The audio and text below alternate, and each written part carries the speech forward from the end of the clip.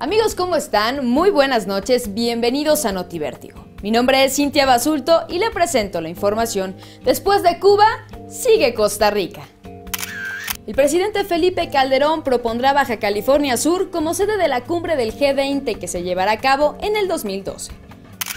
El gobernador del Estado de México, Enrique Peña Nieto, informó que no participará en un debate sobre el salario mínimo, pues dijo que este tema no se encuentra a discusión y no se tiene que debatir. La secretaria de Estado norteamericana Hillary Clinton descartó que esté interesada en encabezar el Banco Mundial. Aunque déjeme informarle que este cargo siempre ha sido ocupado por un estadounidense, mientras que el Fondo Monetario Internacional siempre ha sido encabezado por un europeo. ¿Acaso estarán negociando la llegada de Agustín Carstens o Christine Lagarde al FMI? De acuerdo con el diario The Wall Street Journal, el 70% de armas que incautaron las autoridades mexicanas en 2009 y 2010 provienen de Estados Unidos. En un encuentro más de la Copa Oro, el próximo domingo la selección mexicana se enfrentará a su similar de Costa Rica.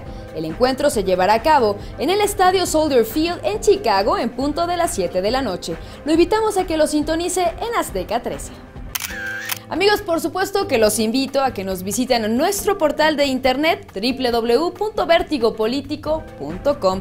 Les reitero, la revista Vértigo está disponible para su iPad completamente gratis y los invito, visítenos a través de Twitter o Facebook.